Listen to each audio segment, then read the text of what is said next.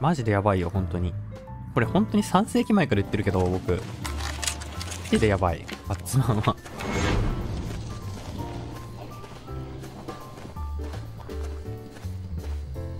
みんなまだ気づいてないだけなんだよな。バッツマンが、本当は超やばいサバイバーだってことに、そんなにまだ広まってないだけで。旧約聖書にもそう書いてある。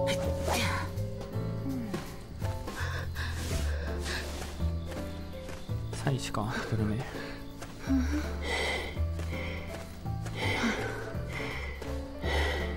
傭兵なんか痛いたな、今。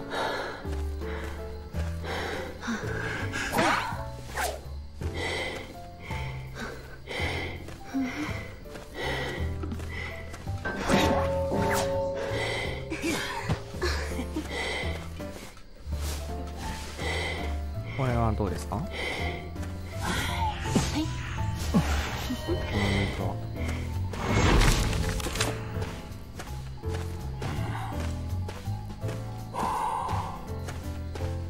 ミートはよーしよ。やったぜ。しっかりとこの釣り替えムーブが刺さっていくんですね、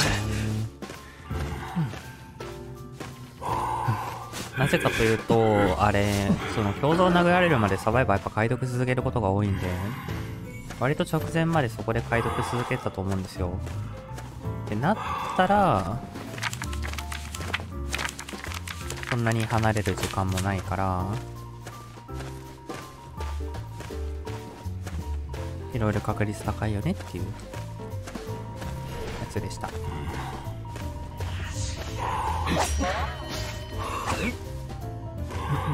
リアには行かないですよね。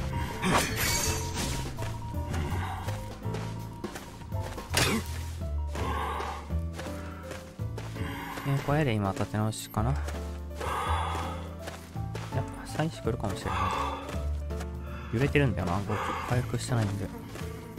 あ、まあまあ言わないか。さすがに。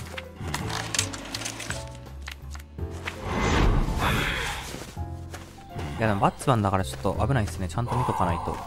ワンチャン椅子からもがいて自力で脱出してハンターにボールをぶつけてくる可能性は全然あるんで。結構油断しない方がいいです。バッツマン釣ってる時は。多分全然その気になれば多分脱出できるんで、あいつ。時と場合によると思うんですけど、まあ多分コンディションとかによる結構その辺は。でも調子いい時は全然別に脱出できる多分。だって、このサイズのジョゼフの大きさの体の人間を遠距離からボールをぶつけるだけで、まあ、まあ普通にこれぐらいも7メーターぐらい後退させる筋力を持ってるわけだから、なんかこんななんか椅子のさ、手首になんか2つ手錠つけてるぐらいじゃ、まあちょっと心もたないですね。普通に。どう考えても。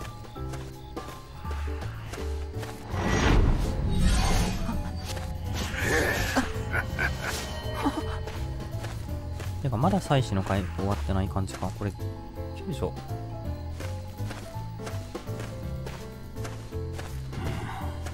おや？おやじゃない。どこじ？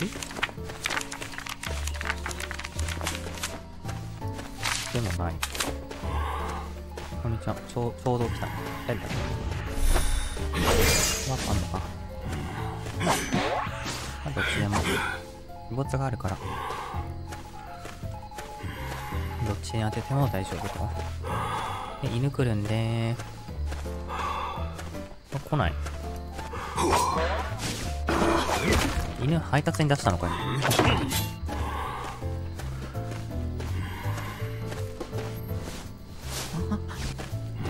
あれ？もしかしてポストマンって犬配達に出してる間って犬消しかけられない？あそらそうか。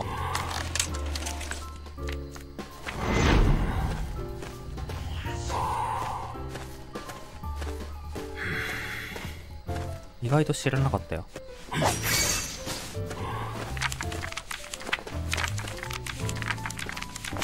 飛びますね。はいおへが上げて。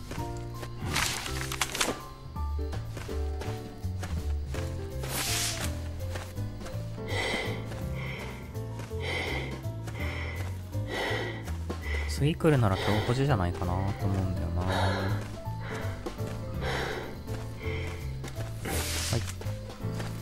やはりあでも同行してくれたのでナイス勝利ですと。